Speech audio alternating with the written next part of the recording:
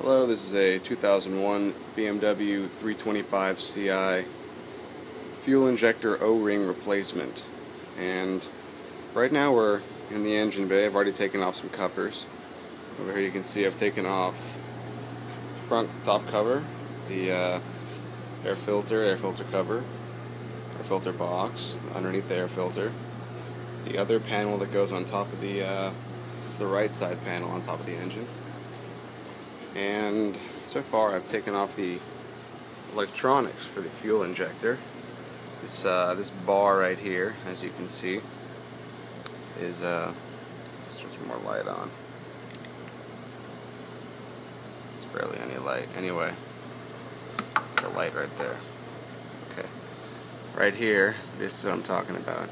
These clips go into the actual fuel injector ports, which are right there. I don't know if you can see that or not, but those two prongs right there are the ones that we're talking about. It goes into there. The clips are actually pretty tricky. The clips you have to uh, you got to get in here, and then you got to start messing with uh, with these metal clips right there. This is a low quality video. You gotta sort of pry them off to the side and like tweak them out. I did it with needle nose pliers and I tweaked them all out. And then I uh, took a flathead screwdriver and I pried up here. Did that six times for all six injectors. And uh, now I'm at the, I'm actually at the fuel injector rail. It's just pressurized. Uh, here's the, the cap to release some pressure. I actually went ahead and I killed the engine with uh, pulling fuse 54, which kills the fuel pump. So I've essentially drained the engine of fuel, and I I've already gone to depressurize by pulling this off. You can see inside of here there's it's just like a tire. It's just there's like no focus in this iPhone. Oh, there we go. There we are. There's the uh, right in there. You just push that down. You can get some fuel out. I'd say get a rag. I have a rag next to it. I uh, if there was no need for it because it was already depressurized and nothing spilt out.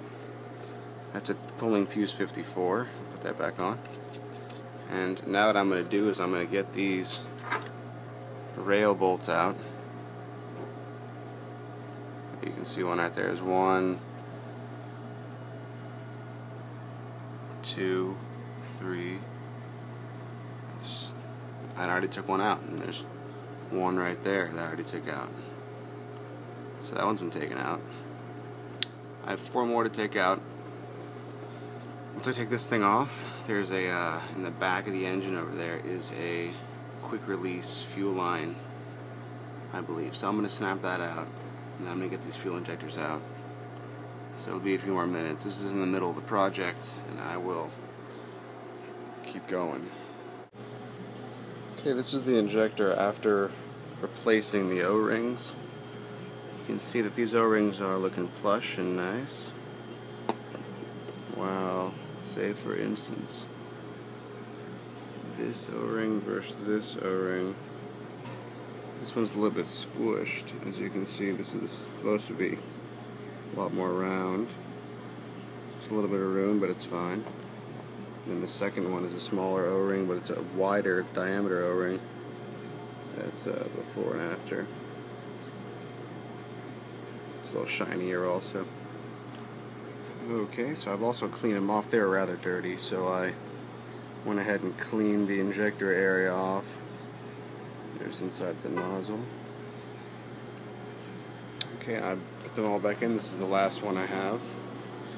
I have all of them in the engine bay are in, so underneath the fuel rail, one, two, three, four, five, and then the sixth one's going down there.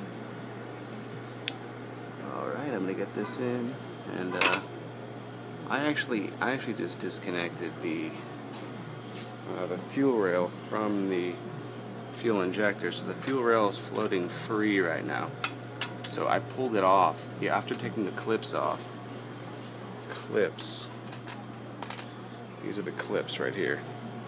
These clips they connect the top of the injector that part right there He clips in there and then it clips into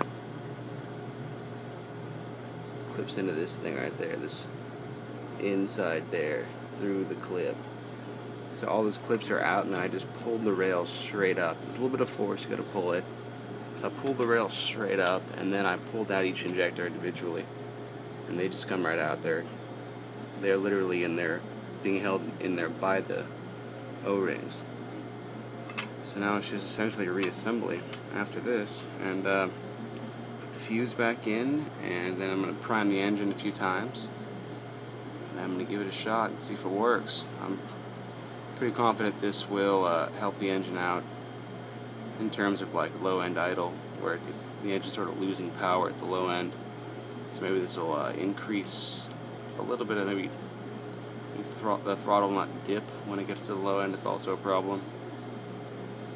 So this helps your vacuum pressure also because uh, when these things are leaking, air is getting inside and it's uh, and the engine doesn't know that extra air is getting in through the O-rings of the fuel injectors and that causes problems. I think it makes the banks run lean, maybe rich, I don't know, probably lean.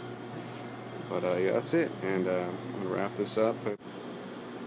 Okay, so the main trick to the reassembly is to put the fuel injectors into the rail before you put the rail into the engine. Because you sort of have to snap it in, or like push it up into the top of the engine, of the rail, so then the fuel injectors are already seated before you put them into the engine. And uh, besides that, it's just a 10 millimeter wrench right in here to put this back in. I only used needle nose 10 millimeter wrench, flathead screwdriver. Shit, that's about it. And I bought the rings online, so not very many tools to this project, and it's uh, it's a pretty easy one. Back together. Alright, hope you enjoyed the video.